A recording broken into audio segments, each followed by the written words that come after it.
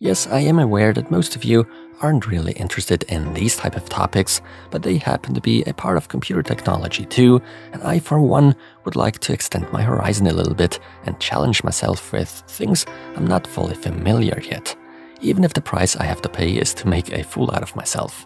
Which is why today I'll present you a network switch from the perspective of a newbie and we'll set it up for my use cases and we'll also name a few more that I know of. First and foremost, with this I want to demonstrate what a switch can be used for and what jobs it can actually handle.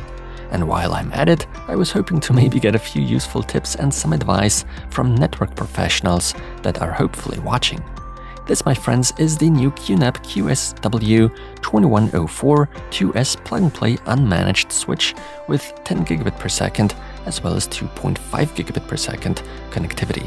So it's not only suitable for us home office users, but also professionals out there that don't have the craziest setups. This QSW21042S currently comes in at a price point of about 140 US dollars. Just to get one thing out of the way, the model ending with 2S features two SFP plus 10 gigabit per second ports. A port type not a whole lot of you use. Servers, however, and I for my workstation setup happen to use exactly that port, which is also a reason why today's switch is so important to me.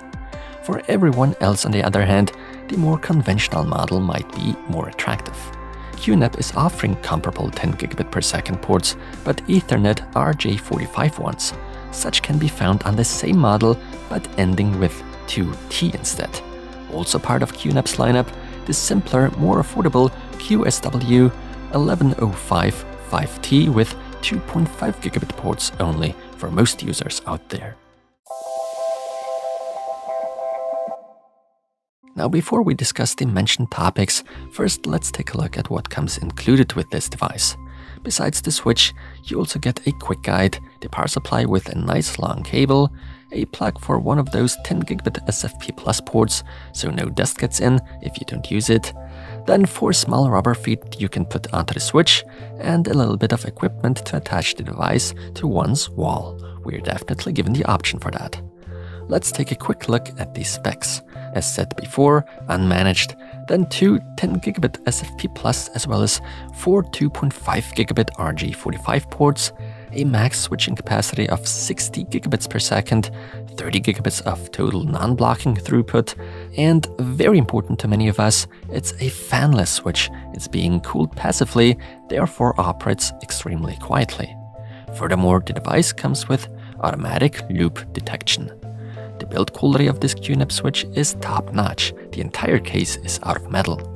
A nice little touch the competition most likely adds as well, I believe, is that the LED indicators emit green and orange lights to indicate whether or not you're making use of the full link speeds. For instance, whether you're in fact making use of 10 gigabits on your 10 gigabit port and same with the 2.5 gigabit ports. Now generally speaking, who needs a network switch and what can you use one for? Starting at a router or modem, imagine your device only comes with 4 LAN ports. Your home, or you all on your own, need like 6 or even more for your PCs, laptops, TVs, consoles, and so on and so forth.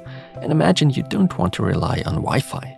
A simple and straightforward way to get rid of the issue is to get yourselves a switch helping you extend physical ports.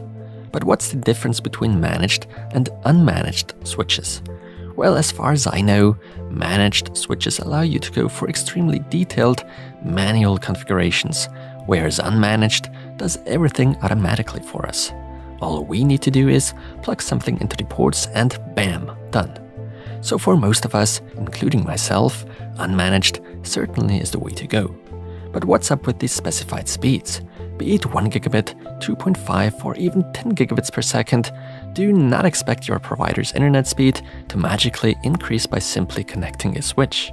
The bottleneck remains your provider or radio tower or whichever way you get your internet. When talking of 2.5 or 10 gigabits per second, we are basically only talking of speed benefits within our own local networks, which can be even more important actually, especially if you have to handle huge file sizes.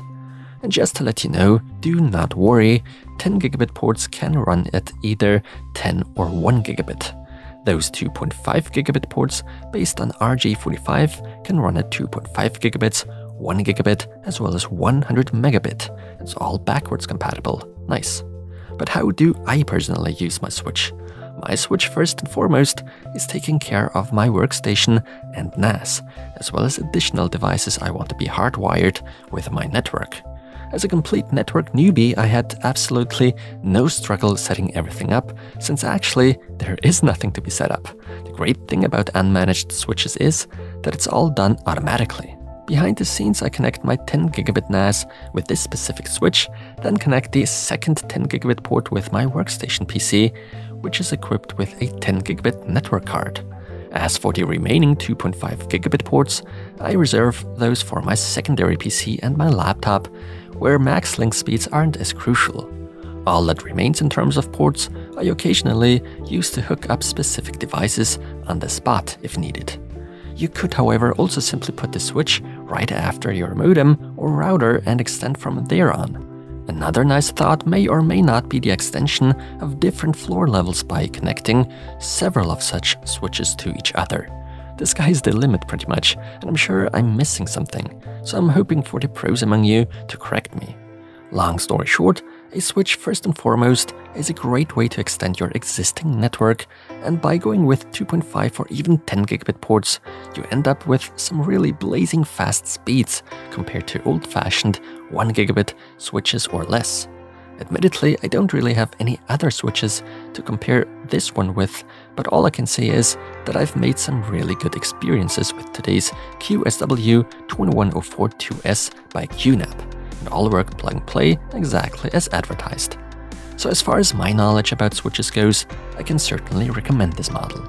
Those of you that don't actually need SFP Plus connectivity surely could just grab the version with RJ45 Ethernet ports instead, with the 2T at the end of the model name. As said before, should I have missed something or just in case I told you something that's incorrect, please feel free to correct me and offer some advice. With that being said, thanks a lot for watching and until next time.